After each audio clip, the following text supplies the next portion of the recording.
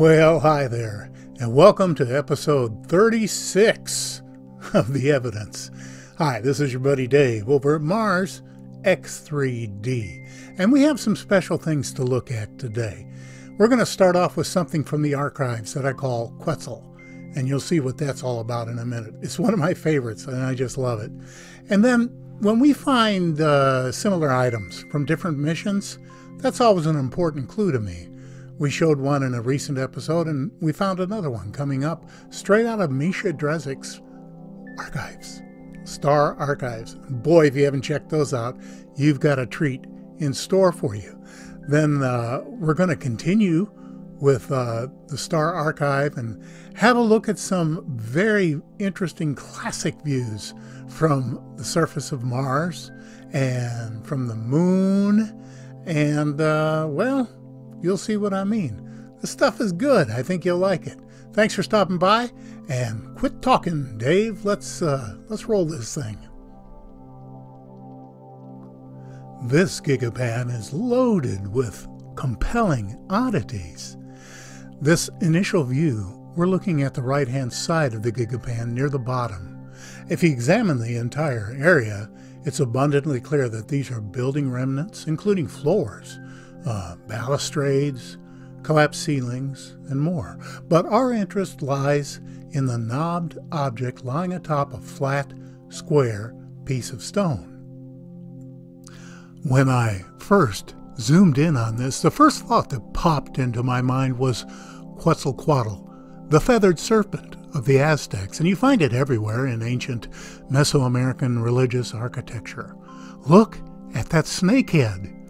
Look at the lavish carving, the polished spine that runs down the side and even glints in the late afternoon sun.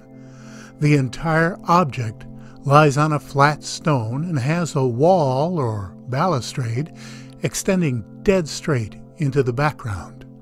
And what about that item at the upper left? A buried statue, perhaps? While NASA insists we have overheated imaginations characterized by pareidolia and flights of fancy, we continue to find objects that are clearly manufactured and available for inspection by the average person. So, who are you going to believe? NASA or your own cursed eyes? If you've been watching this channel, you know that we posted this particular one a couple episodes ago, Dolmen Disaster with a focus on that uh, almost tombstone looking uh, type of stone back in the left hand corner. A dolmen being a megalithic uh, monument type of stone that either marks a religious structure or sometimes a ceremonial spot.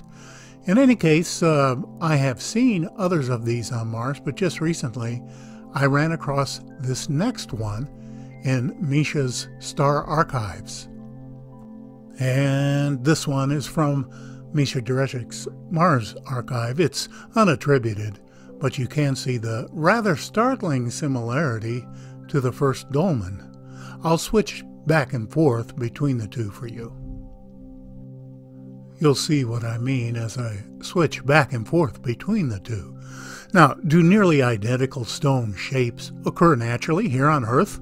of course they do. Rounded boulders, uh, stalactites, um, basalt columns, and so forth, they're entirely natural. But I've never seen anything like this on Earth, other than tombstones and similar monuments made by the hand of man. I'll leave it for you to decide. In another classic nugget from the Star Archives, this classic find by Bret Cullen Shepard is from a Mars Reconnaissance Orbiter image.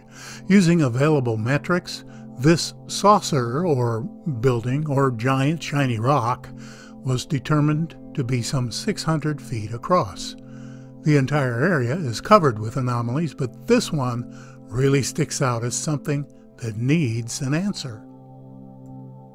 You know, we've seen evidence of mining operations on the moon, as well as on the several different asteroids we've visited.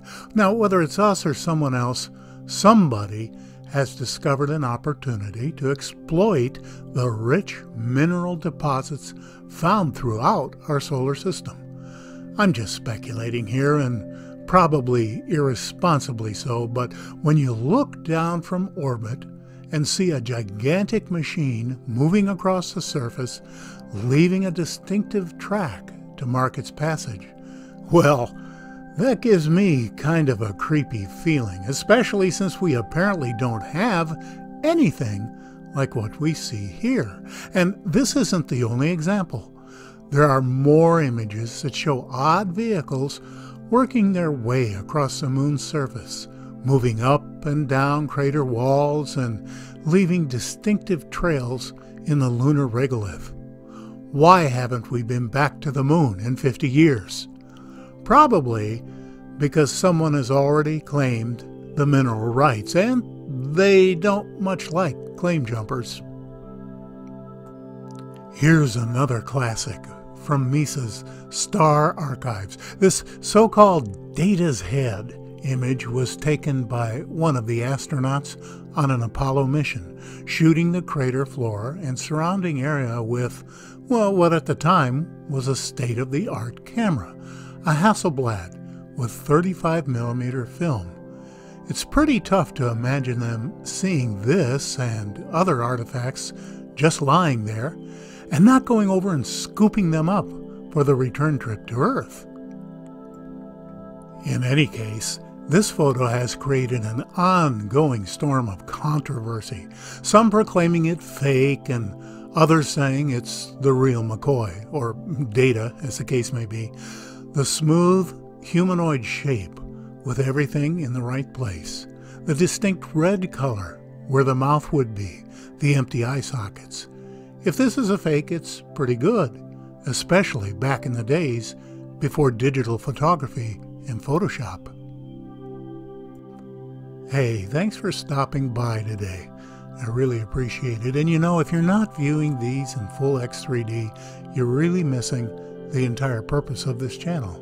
If you liked what you saw today, please consider giving it a thumbs up and maybe even subscribing. You know, these videos are not monetized, and uh, the only way I know you really like them is if I see a thumbs up. This is your buddy Dave at Mars X3D. Be well.